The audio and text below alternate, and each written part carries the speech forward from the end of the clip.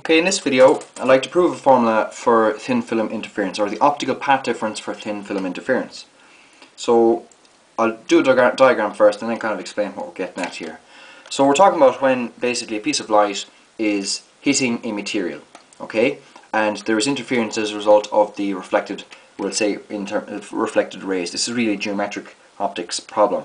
So I'm going to define two areas. This one here is going to be an area with refractive index n sub f or final and this one here is got a refractive index of n sub i which is initial.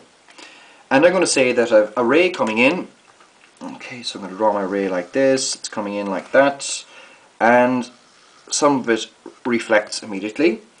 However some of it is transmitted through and eventually hits off the second uh, the second boundary.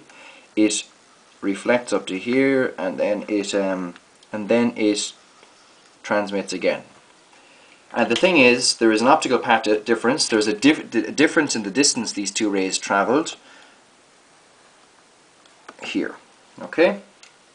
And I'm going to name the following points. I'm going to name this point here C, D, this one B, and this one here A. And if we look closely, we have theta initial, and we have theta transmitted. Okay. I'm going to define this distance here as d. Please don't get it confused with the point, d. And that's all I've got to say. Now the next thing is, I said that there is a difference in the distance travelled by the two rays.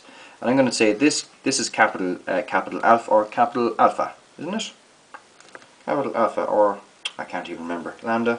I can't remember to be quite honest, right? So the optical path difference, is the optical path difference. This is the difference in the distance travelled by the two rays, one which reflects immediately off the interface and the other one which goes through and hits off a second, uh, a second, a second surface and reflects back out. Alright? So what we can say is following. We can say the optical path difference is equal to the distance travelled in the second medium whose refractive index is n sub f times, well, the distance from AB plus the distance to BC, okay, and we need to take away, oh, sorry, we need to close that, and we need to take away from that the distance travelled in the initial medium, or we'll say usually it's air, and the distance travelled AD.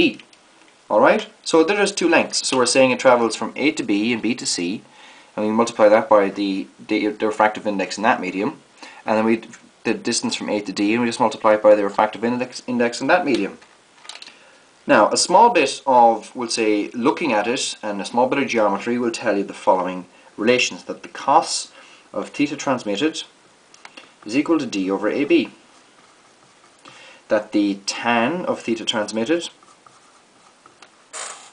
is equal to AC over 2 over D and finally, that sine of theta initial is equal to AD over AC. Alright, just look carefully. We know toe, if you're really stuck, sine is opposite over hypotenuse, cosine is adjacent over hypotenuse, and tangent is opposite over adjacent. Just apply those relations and you'll get the following expressions. Alright, that's pretty straightforward stuff. Next, what do we do? We no longer need our diagram because we have all the things we need.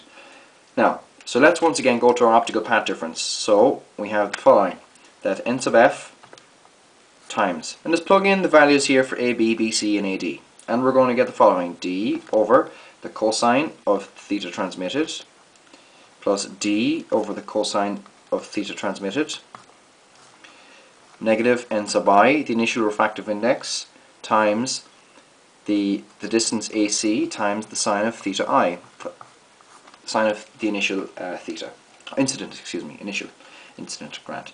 However, Snell's law, Snell's law,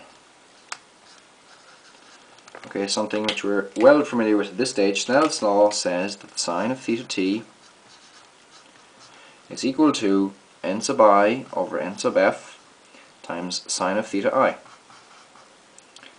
Okay, that's just a small bit of manipulation of Snell's law, something you should be well able to do at this stage.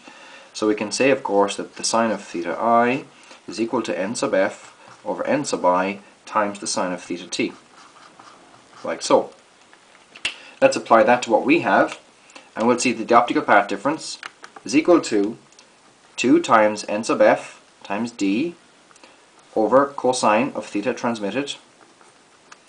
Okay, and that's equal to n, uh, the initial refractive index, and then we're going to have the distance AC times n sub f again, times the sine of theta transmitted, all divided by n sub i. So we can do a small bit of cancelling here because we can get rid of our n sub i. Okay, and uh, I'll rewrite that now in one moment. Just let me clear my board.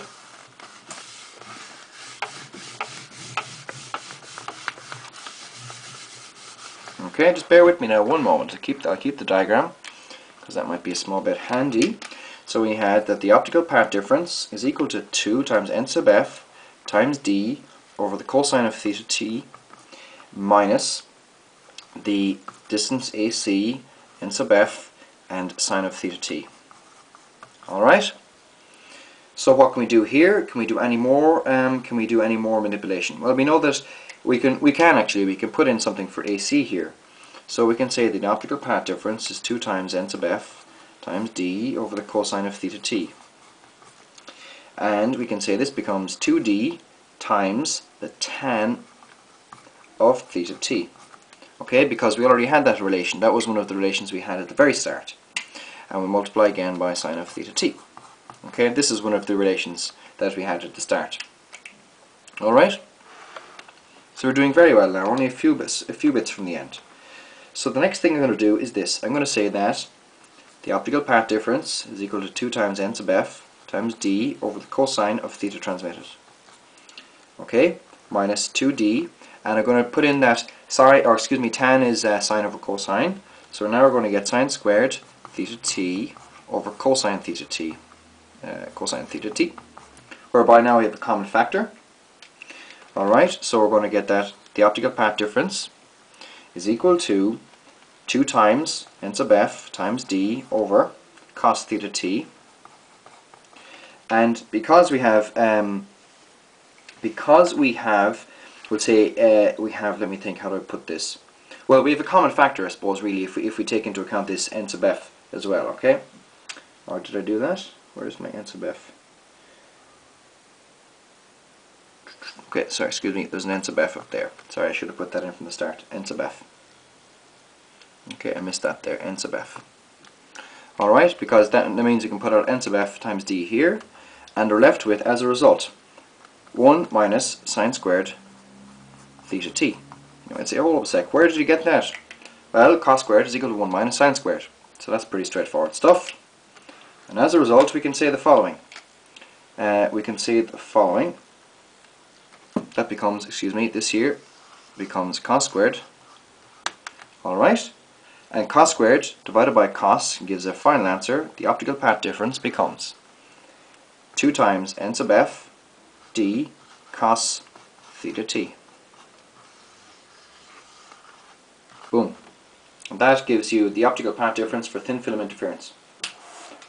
Alright, that wasn't too bad, and I, I, I, don't think that was too bad at all, to be honest.